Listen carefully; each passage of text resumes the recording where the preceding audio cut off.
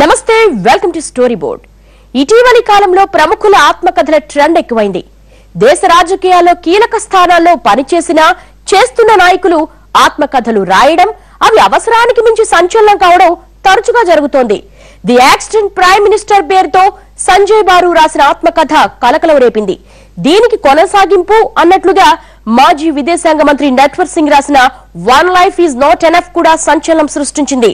తాజాగా రాష్ట్రపతి ప్రణబ్ ముఖర్జీ రాసిన ది డ్రామాటిక్ డికేడ్ కూడా చరిత్రలో మరుగున పడిన అనేక అంశాలను వెలుగులోకి తెచ్చింది.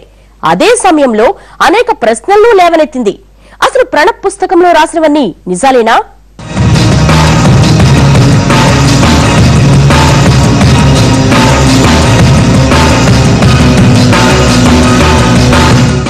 ప్రధానిగా ఇందిరా ఓ అర్ధరాత్రి తీసుకున్న నిర్ణయం తెల్లవారేసరికి దేశం మొత్తానికి లక్ష వోల్టుల షాక్ ఇచ్చింది. అప్పటి వరకు ఆ పదం అంటే పరిచయం లేని వాళ్ళు దాని తీవ్రత చూసి హడలిపోయారు.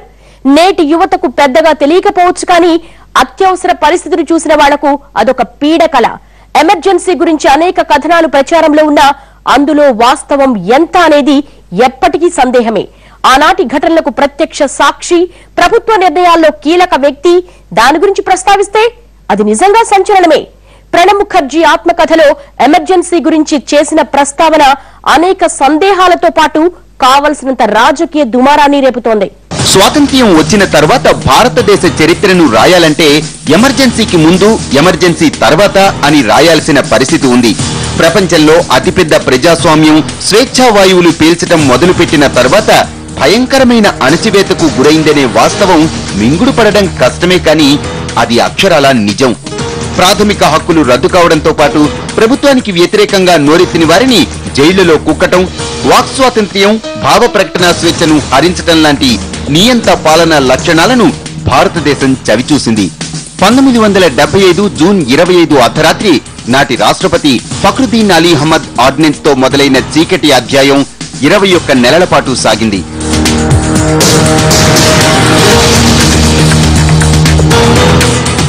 ప్రాథమిక హక్కులు అనేవి పూర్తిగా లేకుండా చేశారు. అగ్రనాయకులందరినీ జైల్లో పాలు చేశారు. పత్రికలు తను చెప్పింది తను చూసిన తర్వాతే అధికారులు ఆమోదించి సెన్సార్ చేసిన తర్వాతే పత్రికలు బయటికి రావాలని ఆమె ఆంక్షలు పెట్టారు. అప్పుడు పత్రికలు సంపాదకీయం స్థానాన్ని ఖాళీగా వదిలేసేవాళ్ళు. ఇంత అప్రజాస్వామికమైన అధికార కేంద్రీకరణ ఆమె పాత్ర లేకుండా జరిగింది అనటం కంటే హాస్యాస్పదమైన విషయం ఇంకోటి ఉండదు. రాజ్యాంగంలోని మూడు వందల యాభై రెండవ నిబంధన దేశంలో అత్యవసర పరిస్థితి విధించి అధికారాలన్నింటినీ కేంద్రం గుప్పిట పట్టవచ్చని చెబుతోంది. రాయబరేలీ ఎన్నికల్లో ఇందిరాగాంధీ అధికార దుర్వినియోగానికి పాల్పడ్డారని ఆరోపిస్తూ దాఖలైన పిటిషన్పై ఇందిర ఎన్నిక చెల్లదంటూ అలహాబాద్ హైకోర్టు తీర్పు చెప్పడంతో ఎమర్జెన్సీ పరిస్థితులకు బీజం పడింది. తనకు వ్యతిరేకంగా దేశవ్యాప్తంగా చెలరేగిన అలజడిని అణిచివేయటానికి అత్యవసర పరిస్థితిని ఆశ్రయించారు ఇందిరా. అలహాబాద్ హైకోర్టు తీర్పు వచ్చిన తరువాత లోక్ నాయక్ జయప్రకాష్ నారాయణ్ సంపూర్ణ విప్లవానికి పిలుపునివ్వడంతో అర్ధరాత్రి హడావిడిగా ఆఘమేఘాల మీద అత్యవసర పరిస్థితి ఆర్డినెన్స్ పై ఇందిర సంతకం చేయించారనే ఆరోపణలున్నాయి. వ్యక్తి స్వేచ్ఛకు వ్యక్తి స్వ- స్వాతంత్రానికి భంగం కలగకుండా ఉండాలంటే ఇద్దరే ప్రముఖమైన ఉద్యమాలు చేశారు ఉదయ పోరాటాలు చేశారు. ఒకరు జయప్రకాష్ నారాయణ గారు ఎమర్జెన్సీకి వ్యతిరేకంగా పోరాటం చేసి ఈ దేశంలో నిజమైన స్వేచ్ఛ ఇది కాదు స్వాతంత్రం అంటే స్వతంత్రం అంటే ఈ దేశంలో వ్యక్తి ప్రతి పౌరుడు స్వేచ్ఛగా బతికే విధంగా ప్రతి పౌరుడు సమానత్వాన్ని పొందే విధంగా ప్రతి పౌరుడు తన యొక్క జీవిత హక్కును కలిగి ఉండాలని చెప్పాడు. ఎమర్జెన్సీ కాలంలో అధికారమంతా ఒకే చోట పోగుబడడంతో అరాచక శక్తులు చెలరేగాయి. ఇందిర తనయుడు సంజయ్ గాంధీ రాజ్యాంగేతర శక్తిగా మారారనే ఆరోపణలు ఉన్నాయి. ప్రముఖ నాయకులు ప్రతిపక్ష నేతలు కమ్యూనిస్టులతో జైళ్ళన్నీ నిండిపోయాయి. పత్రికా స్వేచ్ఛపై ఆంక్షలు విధించారు. ఈ కాలంలో కొంతమంది నాయకులు పత్రికాధిపతులు వ్యవహరించిన తీరుపై తీవ్ర విమర్శలు చెలరేగాయి. అప్పట్లో ఇందిరాగాంధీ మంత్రిమండలిలో జూనియర్ మంత్రిగా ఉన్న ప్రణబ్ ముఖర్జీ నాడు జరిగిన అనేక ఘటనలను మౌన ప్రేక్షకుడిలా వీక్షించారు. చాలా కాలం తర్వాత తన ఆత్మకథలో వాటి గురించి ప్రస్తావించడంతో వాస్తవాలు ఒకటొకటిగా వెలుగు చూస్తున్నాయి కిస్సా కుర్సికా అనే సినిమా తీసినందుకు ఆ నిర్మాతను ఆ సినిమా రీళ్ళు దగ్ధం చేసేసారు సంజయ్ గాంధీ అత్తమామలను విమానాశ్రయంలో తనిఖీ చేసినందుకు అధికారి మీద కక్ష తీర్చుకున్నారు అదే కక్ష. లేకపోతే బలవంతం కుటుంబ నియంత్రణ ఆపరేషన్లు చేయించినందుకు సంజయ్ గాంధీ మీద తర్వాత అభిశంసన వచ్చింది. మన ఆంధ్రప్రదేశ్కి అప్పుడు ఉమ్మడి ఆంధ్రప్రదేశ్కి వస్తే ఆయన చెప్పులు పడిపోతే వాటిని ముఖ్యమంత్రి మోసుకుపోయాడు అనేది చాలా తీవ్రమైన విమర్శకు దారితీసింది ఇంత నిరంకుశ పాలన అంతకు ముందు కానీ తర్వాత కానీ మనం చూడలేదు. ఎమర్జెన్సీ అంటే ముందుగా అందరికీ గుర్తొచ్చే పేరు ఇందిరాగాంధీని అయితే ఇందిరకు ఎమర్జెన్సీ గురించి ఏమీ తెలియదంటున్నారు ప్రణబ్ ముఖర్జీ. ఇందిరతో పాటు నాటి కేంద్ర మంత్రులకు కూడా రాజ్యాంగంలోని మూడు వందల యాభై ఏడవ నిబంధనపై అవగాహన లేదనేది ఆయన చెబుతోన్న మాట. ఇందిర ఎన్నిక చెల్లదంటూ అలహాబాద్ హైకోర్టు తీర్పు రావటం దానిపై ప్రతిపక్షాలన్నీ ఏకతాటిపైకి వచ్చి ఇందిర రాజీనామా చేయాలని డిమాండ్ చేస్తూ ఉద్యమానికి దిగడంతో సిద్ధార్థ శంకర్ రే ఎమర్జెన్సీ గురించి ఇందిరకు సూచించారు.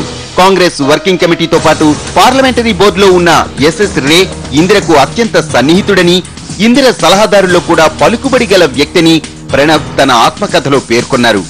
అయితే అత్యవసర పరిస్థితి అనేటువంటిది కేవలం ఒకరి సలహా మీద ఇందిరాగాంధీ గారు తప్పుడు నిర్ణయం చేశారు అని చెప్పేసి భావించడానికి లేదు. ప్రణబ్ ముఖర్జీ గారు తన పుస్తకంలో ప్రధానంగా ఆ సందర్భంగా సిద్ధార్థ శంకర్ రే ఇచ్చినటువంటి సలహాను ప్రస్తావించారు. నిజంగా సిద్ధార్థ శంకర్ రే అలాంటి సలహాను ఇవ్వడానికి ముందు దాన్ని ఆచరించారు కూడా. అత్యవసర పరిస్థితిని విధించాలనేది పూర్తిగా సిద్ధార్థ శంకర్ రే నిర్ణయమని ఇందిరాగాంధీ ఆయన మాటల్లో పడిపోయి ఆయన చెప్పినట్లు చేశారని ప్రణబ్ తన పుస్తకంలో వివరించారు. అయితే ఇందిర లాంటి మహానేతకు రాజ్యాంగంలో ఉన్న ఈ నిబంధన గురించి తెలియదంటే నమ్మడం కష్టమే. పంతొమ్మిది వందల డెబ్బై ఒకటిలో పాకిస్తాన్తో యుద్ధం సందర్భంగా దేశంలో అత్యవసర పరిస్థితిని విధించిన అంతరంగిక అస్థిరతను కారణంగా చూపుతూ అత్యవసర పరిస్థితిని విధించవచ్చనే రాజ్యాంగ నిబంధన గురించి తనకు తెలియదని ఇందిర ప్రణబ్తో చెప్పినట్లు వివరించారు. ఎమర్జెన్సీతో పాటు ఇందిరా హయాంలోని పదేళ్ళ పాటు తీసుకున్న అనేక నిర్ణయాల గురించి ద డ్రమెటిక్ డికేడ్లో ప్రస్తావించారు. ఇదంతా కూడా చరిత్ర అయితే వీటన్నిటికీ సాక్షిగా ఉన్న ప్రణబ్ ముఖర్జీ గారు శిఖరాగ్ర స్థాయిలో ఉండి చర్మాంకంలో ఉన్నారు ఆయన తన రాజకీయ జీవితానికి. ఇప్పుడు ఆయన ఇందిరాగాంధీ అప్పుడు నిర నిర్దోషి నిరపరాధి అమాయకురాలు అని చెప్పడం కంటే కూడా సత్యదూరమైన విషయం ఇంకోటి ఉండదు. తనకు రాజకీయ జీవితం ప్రసాదించింది ఇందిరాగాంధీ కాబట్టి ఆమెను గురించి చెడ్డ చెప్పకూడదని అని అనుకొని ఉండొచ్చు కానీ అందుకోసం సత్యం వధ ధర్మం చెర అని సత్యాన్ని పాతి పెట్టడం మటుకు అది ఎంత మాత్రం సమంజసం కాదు.